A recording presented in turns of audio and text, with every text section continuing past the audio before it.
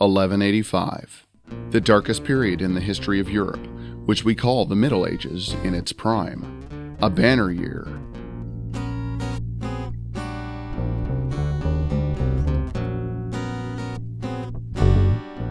In England ruled the first Plantagenet king, Henry II, father of the famous Richard the Lionheart. The crown brings in France Philip II Augustus, one of the greatest French kings, and probably the most prominent among the Capetians. Frederick I Barbarossa, the legendary crusader who would later be drowned with his horse, the first emperor of the Holy Roman Empire of the Hohenstaufen dynasty and has been running it for the past 33 years. In the same year, two brothers rebelled against the authority of the Byzantine emperor and restored the independence of the Bulgarian kingdom, which was lost two centuries ago, and gave birth to a new dynasty, the Asenovci. A hundred years later, the Asenovci will decide the fate of Europe, along with the Plantagenets, Capetians, and Hohenstaufens. One by one, the dynasties faded over the centuries, but the Asenovci memory is preserved. Their name graces a beautiful Bulgarian city. And above it rises the ruins of a medieval castle, a fortress. While dynasties embark or disembark from their thrones in Europe, life flows, people are born and die, and dynastic intrigues decide their fates. Such was the fate of this Knight Templar. Henri de Bourbon, a native of Lorraine, a vassal of Duc René d'Artois of Philippopolis St. Leger, who participated in the Crusades organized to liberate the Christian holy sites in Jerusalem from the infidels, the Muslims. He died in the service of his master in the early 13th century. His spirit still inhabits these areas.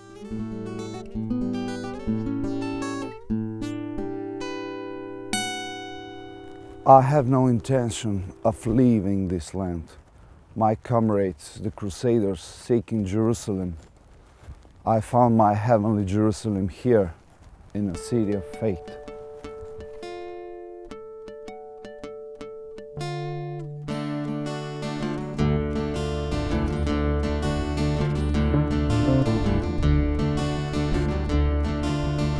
The town is the 19th largest city in modern Bulgaria.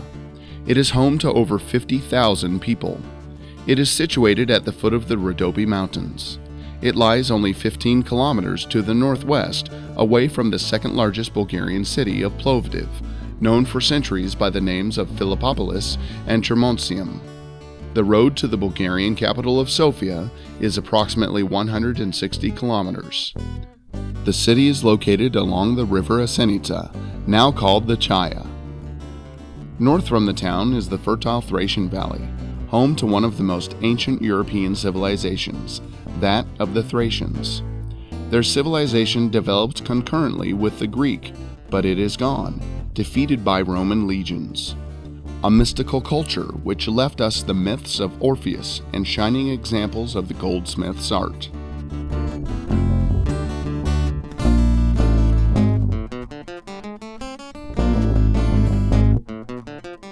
The town is named after the Bulgarian royal Asen dynasty, which managed the Second Bulgarian Empire from 1185 AD to 1280 AD.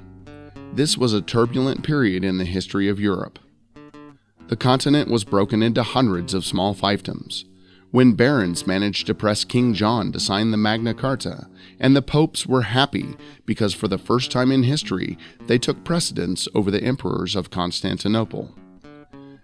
Middle East and North Africa, almost all are under the rule of the Christian Catholic monarchs. The Eastern Roman Empire, which centuries later historians will call Byzantium, saw its political decline, although it will take another 200 years to fully die.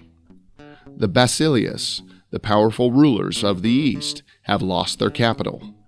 During this turbulent period, Bulgarians rose against their power. The first representatives of the Asen dynasty were Peter and Asen, aristocrats of unknown ethnic origin who challenged the authority of the Byzantine emperor, and after a successful uprising in the town of Turnovo, proclaimed the independence of Bulgaria from Constantinople. Representative of the dynasty was King Ivan Asen II, who ruled in the mid 13th century. During his time, the Bulgarian state reached its greatest territorial extent and occupied an area almost the size of France during the Hundred Years' War. Under the rule of Ivan Asen II, Bulgaria was the most powerful country in the east. Military victories and dynastic marriages provided the Bulgarian Tsar influence throughout Europe and the Middle East, from Jerusalem to London. Ivan Asen II was the first Bulgarian king who minted his own coins. During his time was created the first Bulgarian navy.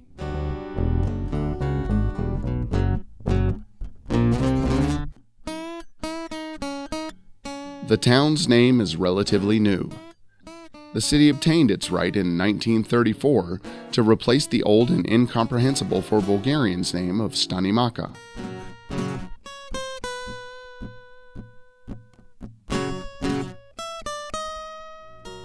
Stanimaka was the name of the local village for centuries.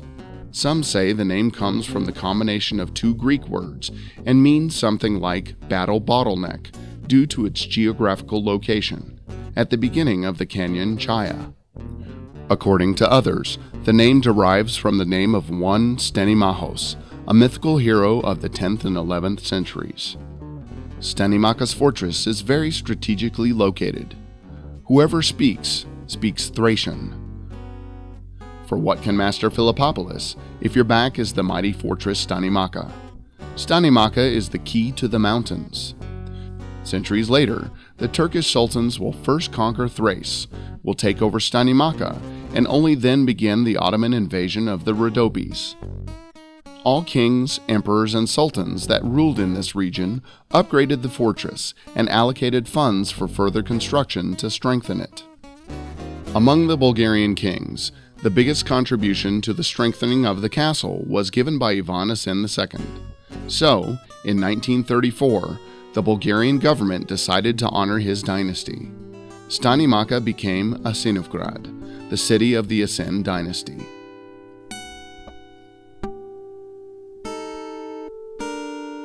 Evidence of human presence in the area of Asenovgrad dates back to prehistoric times. It is colloquially called the people of the time primitive. This is the time when there is still no large civilization. Our ancestors lived in small tribal communities composed of several genera. On the northern slopes of the Rhodopes have been found 13 prehistoric settlements of primitive peoples.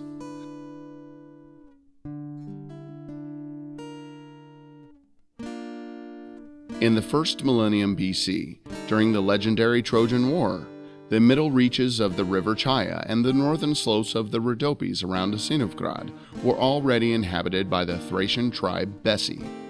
The Thracians are one of the most ancient European civilizations which inhabited almost the whole Balkan Peninsula. Contemporaries of the Hellenistic civilization, the Thracians were involved in the war for Helen and lauded as brave and invincible warriors. Supercilious Greeks considered them barbarians, but archaeological excavations have shown that the Thracians were a highly developed civilization. As with other mysterious civilizations, such as the Incas in South America, they did not have their own alphabet. They left no texts, and no one knows what exactly their language was. Therefore, the information about them comes from mostly Greek sources.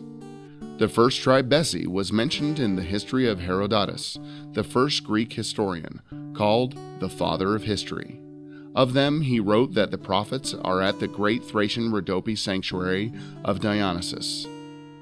The clan was in a continuous war with its neighbors, the Odrysae, and later continued to assert its independence from Rome, which had already conquered Greece and Macedonia. Thrace lived until about the year 46, when Emperor Claudius ended the independent existence of the Thracian tribes and states and included them within the vast Roman Empire, spanning, at the time, from the British Isles to Egypt and the Moroccan coast to the North Sea. The proximity of the ancient city of Philippopolis is crucial to the flourishing of Asenovgrad. Philippopolis is an ancient Thracian city, captured and fortified by Philip II of Macedonia, father of Alexander the Great. From ancient times to the present day, it has been a kind of a capital of western Thrace. Due to its proximity to Philippopolis, Asenovgrad continued to be a viable and thriving city for more than two centuries after the conquest of the Romans. The decline of Stanimaka began when Philippopolis was conquered and destroyed by the Goths in 251 AD. That was also the fate of the surrounding villages. But life in the area did not end when Asenovgrad was destroyed. The village was razed, but not near the northwestern slopes of the mountain, where the at risk population found it easier to defend or hide. The turmoil caused by the barbarian invasions continued until after 395, when the Roman Empire was divided into the east and the west. During this period, there was a great change in the ethnic composition of the population of Thrace. On the Balkans, newcomers from the northeast barbarians are beginning to settle. In the 7th century, numerous Slavic tribes coming from the east permanently settled there and scattered between the 5th and 8th centuries throughout Central and Eastern Europe. Their descendants today are nations with a total of over 300 million people Russians, Ukrainians, Serbs, Czechs, and Poles. After the establishment of Bulgaria in 681, Slavic settlements in the south by the mountains around Plovdiv and the Rhodopes acquired strategic importance for Byzantium and the newly established Bulgarian state.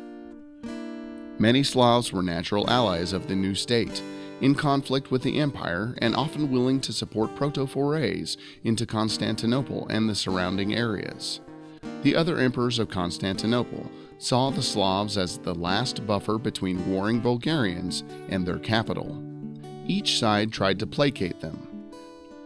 While the Bulgarians from the Plovdiv region and the northern slopes of the Rhodopes ultimately prevailed, the region repeatedly changed hands. Settlement in Asenovgrad during this period continued to share the fate of the nearest big city, Philippopolis, and was often sometimes Byzantine, then Bulgarian territory. In the late 11th century, Pope Urban II called on the European aristocracy to liberate Jerusalem from the Muslims which conquered it. This marks the beginning of the Crusades, a series of military campaigns against Islam. The formal objective was the release of the Holy Sepulchre in Jerusalem. In practice, however, the campaigns were becoming an expansion of the European West, which, in addition to the Muslim countries in the Middle East, defeated Rome and its successor, Byzantium. In 1204, the armies of the Fourth Crusade conquered Constantinople. The leader of the Crusaders, Baldwin of Flanders, was crowned Emperor of the Latin Empire. In the European periphery of Byzantium formed several small tributaries of the Baldwin chivalrous countries. Amongst them was the Duchy of Philippopolis. The capital of the duchy became Philippopolis, a large city with a rich history, a pearl amongst the cities of the three empires the Macedonian, the Roman, and the Byzantine. The territory of the duchy covered most of western Thrace, including Stanimaka. The first Duke of the new state became French knight René d'Artois Saint Leger, crusader of the environment of Baldwin. In the same year of 1204, Bulgarian Tsar Kaloyan, the third of the Asen dynasty, entered into alliance with Pope Innocent III, as the Pope recognized the title of Kaloyan, and the king the primacy of the Roman Church. Just a few months later, the Bulgarian army entered a battle with Latin knights near Odrin. The result was disastrous for the knights. Many of them were killed, and one of their leaders, Count Louis de Blois, fell while the Emperor Baldwin was captured and taken to the Bulgarian capital of Veliko Tarnovo. The armies of Kaloyan were located throughout western Thrace. Philippopolis, Duke René d'Artois Saint Leger was forced to flee from his capital. he found refuge in the fortress Stanimaka. There, together with 15 knights, the Duke was besieged by the Bulgarians for 13 months. 13 months of siege. This was a feat that is commensurate with the siege of Acre just 15 years earlier. There, in the Holy Land, we were besieging infidels, and here we were pressured by Christians already accepting the authority of the Pope.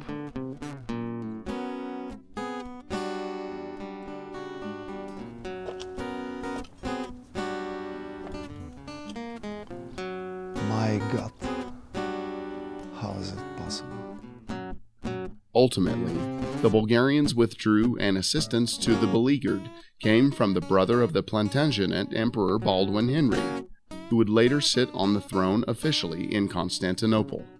The Duchy of Philippopolis would survive another half century, and, as before, a vassal of Bulgaria at times, and at others the Latin Empire. Finally, during its final rise, Byzantium removed it from the political map. However, the existence of the duchy played a significant role in the interpenetration of three cultures Western Christianity, Orthodoxy, and Islam. The Crusades helped with this spiritual exchange. After the First Crusade to rid the world of infidels, landed knights were created, and the poor knights of the Order of Jesus Christ were dubbed the Knights of the Temple, or Templars. This powerful military monastic structure briefly became an insurmountable factor in European politics. The order had bastions, bases throughout Europe and the Middle East, and its membership included thousands of knights who took a vow of celibacy and obedience to the Grand Master. Templar guarded pilgrims performed banking operations to collect taxes on behalf of the feudal lords. The religious motive for the existence of the order was to preserve Jerusalem from the Muslims and for the Holy Land to be accessible to Christians. Medieval doctrine of the importance of the city is built on a quote from the Revelation of St. John And I saw the holy city, New Jerusalem, coming down out of the heaven from God, prepared as a bride adorned for her husband. Revelations 21 2. Orthodoxy perceived it as God's instruction to rule Jerusalem at any cost. But the subtle mystic as a Templar is clear it's just a metaphor. Heavenly Jerusalem is just a synonym for God's kingdom. The bastions from the Middle East and those of Western Europe interacted intensively. In the middle of the route between the East and the West fell the Duchy of Philippopolis. This determined their great interest in the region. In gratitude for their faithful service to the Pope and the Latin emperors of Constantinople, the Templars received many estates in the Philippopolis duchy. Hundreds of years before the invasion of the knights in the area of present day Asenovgrad, two brothers, Georgians, received from the Byzantine emperor personal ownership of the water fortress. This was Gregory and Abazi Bakuriani. Gregory Bakuriani, during times of war, won not a single battle in the service of the Emperor of Constantinople. In 1083, the brothers Bakuriani were based in the Stanimaka Monastery, which has survived to this day. The Bachkovsky Monastery Assumption. It is the second largest monastery in Bulgaria.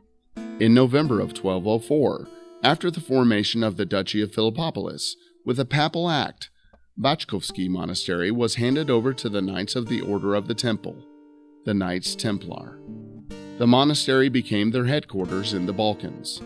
Later, after the death of the duchy, the Templars abandoned the monastery and returned to Orthodoxy. The monastery, which was once a Templar preceptor, survived with the order intact for 700 years The Bulgarian patriarch, Saint Euthymius, was exiled here by the Ottomans. It is assumed that he died in the monastery in 1404. Here is also buried Exarch Stefan, the first recognized by all Orthodox churches head of the independent Bulgarian Church, and Patriarch Kirill, the first Bulgarian patriarch. selected more than 550 years after the death of Saint Euthymius. Asenovgrad was coincidentally called Little Jerusalem. The area has many active monasteries and churches, the most per capita in Bulgaria. All are influenced by its proximity to the Orthodox Pearl Bachkovsky Monastery. One of the iconic temples in the vicinity is the Arapovo Monastery, St. Nedelya. It is located 6 kilometers east from the town. I took the cross off my chest and placed it in my heart. Arapovo Monastery was within the sphere of influence of Rome until the 13th century, what was then to be considered on its own. The function of the monastery was to repel the characteristic of the era attempts for the area to be placed completely under Greek influence.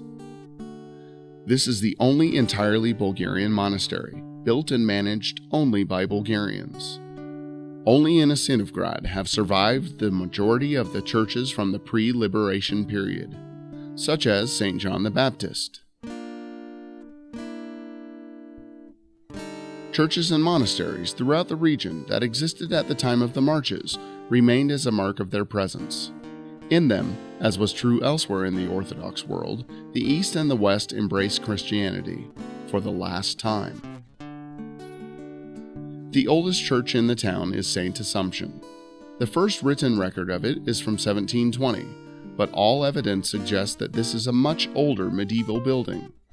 The largest district of Ambelino, first mentioned in writing in 1628, was separated into an independent parish. The temple is the only one in the city that has had two bell towers. In the east, the majority is composed of two parts, one above the other.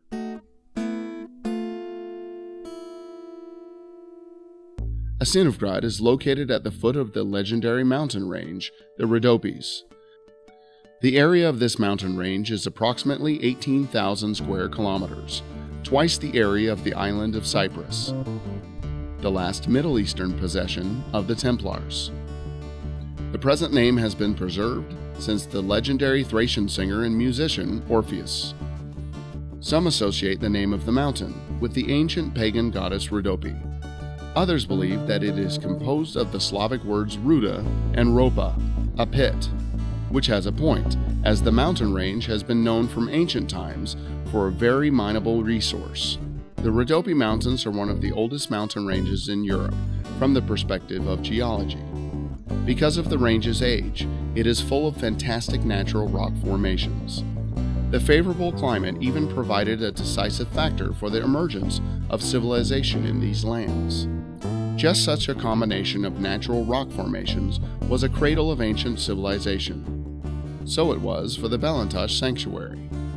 This is a beautiful rock in the shape of a small plateau, which at where it lies were found traces of an ancient mystical cult. It is assumed to be from the time of the Thracians by its very nature, and its purpose is not yet fully understood. It is believed that this place was located on an ancient Thracian sanctuary dedicated to Dionysus, whom the Thracians called Sabazius. The name of the rock is translated as White Good Stone, but some argue that it translates as Stone of Knowledge. On the upper platform of the rock are carved round holes, grooves, recesses, and steps that some say forms a map of the starry sky. The length of the rock platform is approximately 300 meters. Because of its location, Belintash is a natural observatory. During the equinoxes, the sun rises exactly over its top and has a blue sunset over the Karachov stone, two adjacent hills. Some researchers even argue that the plateau itself is something of a spaceport for extraterrestrial ships. The strongest hypothesis is that this is where the Thracians made their religious rituals associated with the god of mysteries, Dionysus. The mysteries devoted to Dionysus, or as he was called by the Thracians, Sabazius or Zagreus, is one of the mysteries of the ancient world. Later, some of the Thracian practices were integrated into the order's rituals. They reputedly performed mysterious religious rituals that achieved the fusion of man and God. There were two ways of merging with God, and they embodied the myths of Orpheus and Dionysus. When in 1314 the Templar order was defeated, and its Grand Master Jacques de Molay was burned at the stake in Paris, one of the charges against them was practicing pagan rituals alien to Christianity. The protocols speak of Bacchanalia, which is the Roman name of the Dionysian mysteries.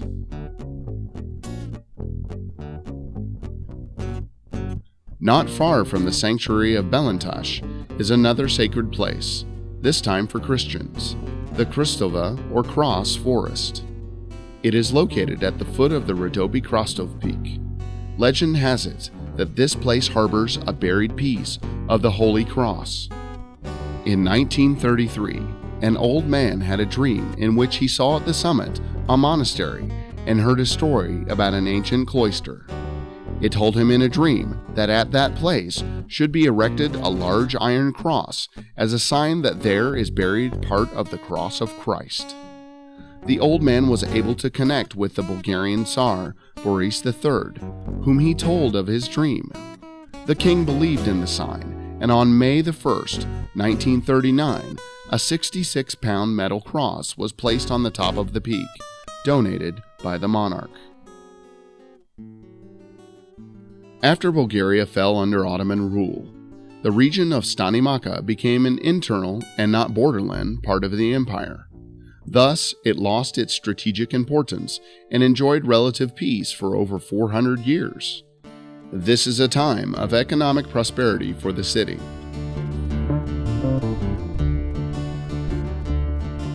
In the late 19th century, the town was an average provincial town. The main occupation of the locals was viticulture and winemaking. The city became one of the fastest growing centers on the Balkans. In good years, the vineyards near Asenovgrad produced over 4 million liters of premium wine. In comparison, taking into account today's technological development and industrialization of viticulture, the whole crop of famous Tokay is only about 10 million liters per year. Under these conditions was born the famous Stanimaka Malaga, a red table wine of the Mavrud variety. It is believed that its founder was the local Greek Aristide Choibajakov. This wine has been flourishing in Western Europe, especially in Germany. Now the wine has been popularized under the name the Whispering Monastery. This is Midsummer's Day holiday, June the 24th, the day of St. John, who was the patron of the only surviving present day order of chivalry, the Little Brothers of the Templars, the Maltese Knights Hospitaliers. Obviously, on a spiritual level, all roads lead to the heavenly Jerusalem, Asenovgrad.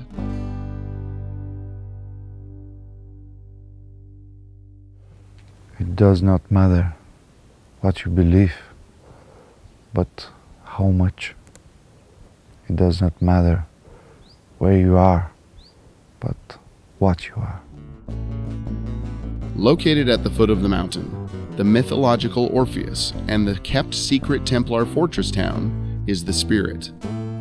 In the meantime, when the cathedral was built, near the town was built a no less magnificent church, the Virgin Mary. It was built in the center of the fortress of Tsar Ivan Asen II. After the Ottoman invasion, the fortress was destroyed, but the church survived. A celestial fortress, as always, proves stronger than an earthy one. Just as in the apocalypse, heavenly Jerusalem wins, this time alongside Asenovgrad.